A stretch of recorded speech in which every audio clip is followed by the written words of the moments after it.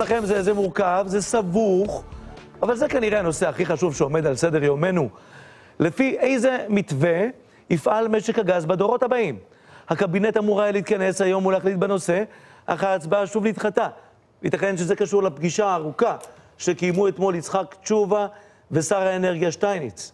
מיד נקיים כאן דיון בנושא בהשתתפות אורלי בר-לב, פעילה במאבק נגד אה, מונופול הגז, דוקטור בועז ארד מהתנועה... בועז ארד, בלי דוקטור. בועז ארד, סליחה.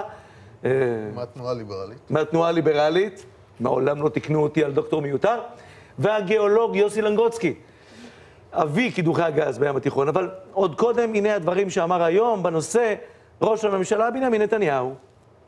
אה, פה בחלוקת הגז, אה, הקדוש ברוך הוא חילק את זה שונה מחלוקת הנפט, אני חייב להגיד לכם. הוא חילק את זה... הוא חילק את זה דמוקרטיות מתקדמות. ובכן, בדקנו נורבגיה, בדקנו את המדינות האלה, ואני חייב להגיד לכם שהמדינות הללו שונות מאיתנו. אף אחת מהן, אף אחת מהן, לא עשתה, אף אחת מהן לא הגבילה בהגבלות שאנחנו מגבילים. אני לא מדבר על ההגבלות שאתם רוצים להגביל, זה בכלל לא קיים. לא מגבילים, לא מגבילים ייצוא, לא מגבילים מחיר. ולכן הייתי מציע, אנחנו לא מגבילים מחירים, אנחנו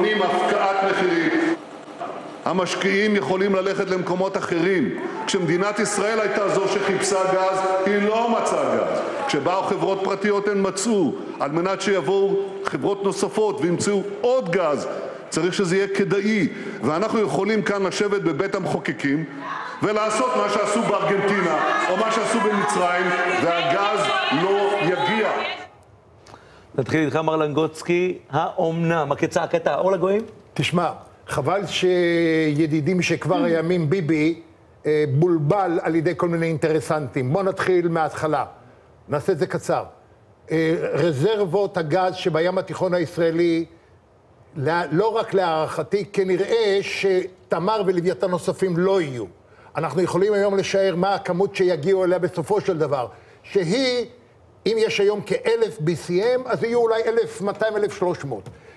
הכמות הזאת יכולה לספק למדינת ישראל גז ל-40 שנה. עכשיו, כלומר, הטיעון הזה של בוא נעודד עוד לא, לא, חברות... רגע, אה, רגע, רגע, תן, כן. יסלח לי ביבי, מר ביטחון. איך הוא משווה את כל העולם אלינו? אנחנו מדינה קטנה, מבודדת, עם בעיות ביטחון יוצאות דופן. איך אפשר להשוות אותנו לאחרים?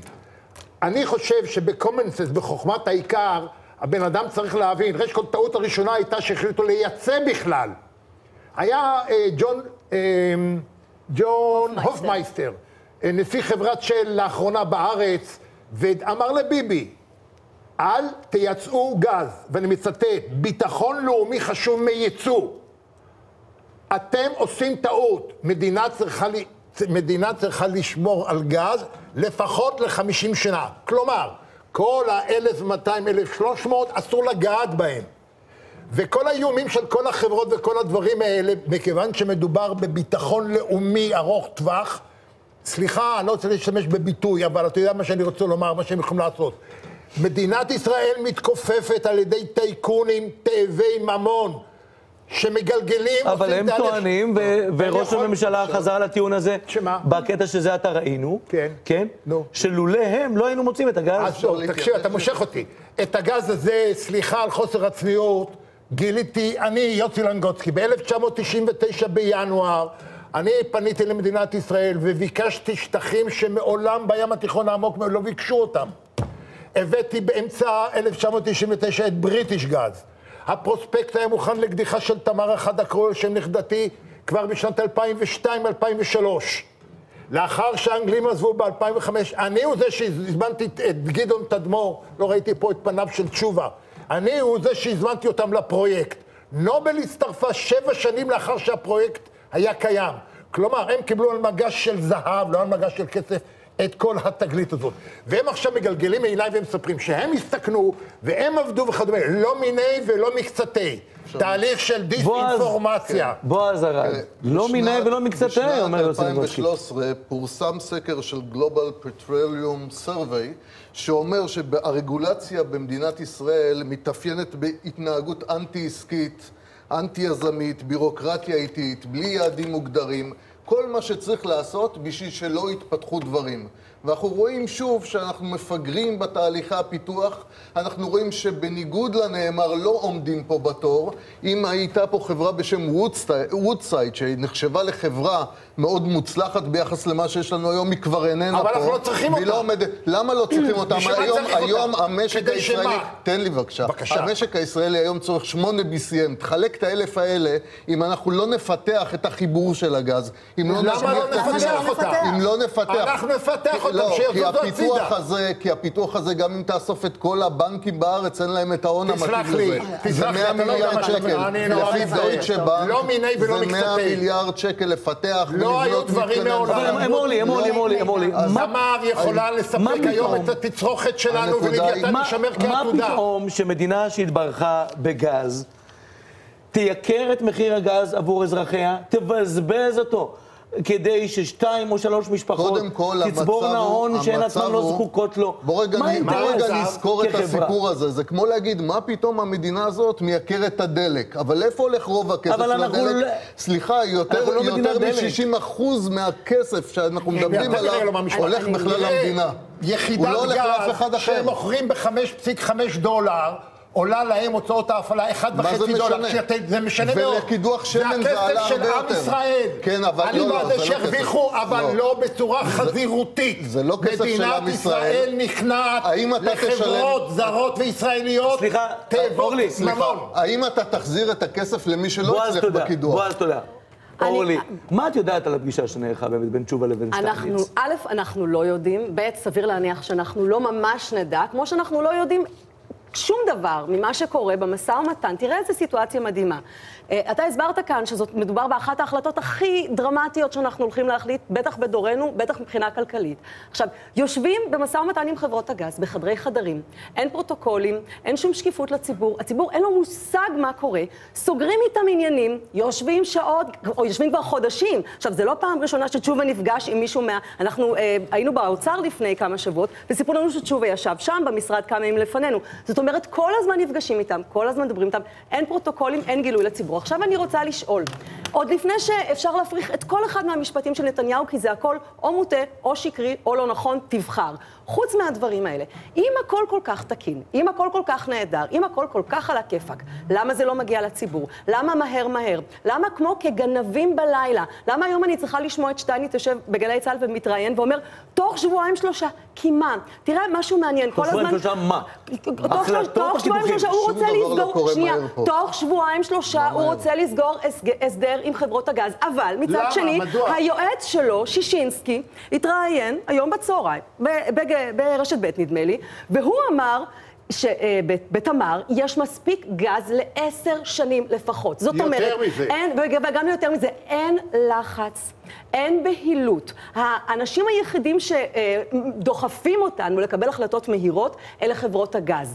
זה האינטרסים. כל פוליטיקאי שאומר, הגז יישאר באדמה, שאומר, אם השקיעו מיליארדים, שאומר הפחדות, שאומר דברי איראן, הבל, זה, זה הכל דיסאינפורמציה. מדובר תקשיב, בתעמולה, מדובר, מדובר. בתעמולה, ואגב, ואגב, אין ויכוח כאן אידיאולוגי בין אז ימין לשמאל בוא נעשה סדר. תראה, כי- רוב הציבור בארץ מאוד מאוד אכפת לו, אבל הוא לא מבין נכון, אז במילים אני- האלה. אני נכון. קצת מבין, או. אני קצת מבין. אז בוא, אז ותפשט את הטיעונים. ואני מציע שגם ביבי יקשיב לי, תקשיב טוב. מה כל הסיפור הזה, מונופול, דיפול, מה, מה זה כל השטויות האלה? מדינת ישראל יכלה לפתור את הבעיה ברבע שעה, אם היא הייתה אומרת. רגע, הרי אנחנו לא נגד מונופולים בגלל המילה מונופול, אנחנו נגד מונופולים מכיוון שזה חוסר תחרות, כשיש חוסר תחרות אז המחירים. גבוהים. מדינת ישראל יכולה לבוא ולהגיד, חברים, אנחנו קובעים את מחיר הגז, זה הכל. מונופול שמונופול. מעכשיו, מחיר יחידת הגז, מה שנקרא MBTU, יהיה סתם לצורך השיחה, שלושה וחצי דולר. שלום, אחת לכך וכך שנים, מנגנון מסוים. וכל הוויכוח היה נגמר. אבל לא, נובל ותשובה מצליחים לעשות מצגי שווא ולעשות אה, הטעיות ותרגילים, ויש כל מיני אנשים שעוזרים להם מטעמים כאלה או אחרים, והמבין אולי גם יבין, והמהומה חוגגת. וביבי, איש חכם, ואני מכיר אותו ואני חושב שהוא איש חכם, אומר שמדינות, אין מדינה בעולם שלא, שיש לה גז והיא לא מייצאת. אבל מה- הם- מה האינטרס מה שלו? זה- אני מה לא- האינטרס אני שלו? חושב שהם מבלבלים אותו. לחץ אמריקאי. סליחה, לחץ לחץ אמריקאי. לחץ, יש לחץ לא. אמריקאי. מה העניין- לחץ- מה העניין אמריקה יש- לך? יש, חברת נובל אנרג'י היא חברה אמריקאית. לחץ- רוצים כמה שיותר רווחים. עכשיו, זה לא רק זה לא- זה לא זה האמריקאים. לנובל? סליחה, לא, אם אני אתה רוצה איזה- מונע אני רוצה איזה ייצוא. אתה מונע ייצוא, אתה מונע אפשרות לגייס הון על מנת להשקיע. אין אתה צורך בגיוס, אתה לא יודע אין מה שאתה צורך, מדבר. בדיוק מה אין- שקרה, אין- סליחה. אין צורך אבל זה גם מה בגיוס שקרה. לך. לא. יגמרו בו עכשיו. שערכו זה- הוא זה מאות לא מה מיליון- שקרה. לא, מיליארדים, לא בו. לא יכול להיות שלא יפיקו אותו. זה לא מה לא שקרה שמשקיע סירב להמשיך אני לא יודע מאיזה להשקיע? מפני שהיה לו דיסציפלינה אתה, אני עוסק בחיפושי נפט עשרות. שנים בארץ ובעולם, וסליחה שאני אומר לך, אתה לא יודע על מה אתה מדבר. עכשיו, צריך להגיד לא משהו, יכול להיות כשנתניהו מדבר, כזה שלא יפיקו כשנתניהו. מדבר על מדינות דמוקרטיות אחרות, ומנפנף את מה שקורה נורבגיה בנורבגיה, כן. ואת מה שקורה בהולנד, למעשה ברוב המדינות בעולם, הממשלה מעורבת במשק הגז, או באמצעות פיקוח, או באמצעות בעלות, או באמצעות החזקות כאלה או אחרות. עכשיו תשאל למה.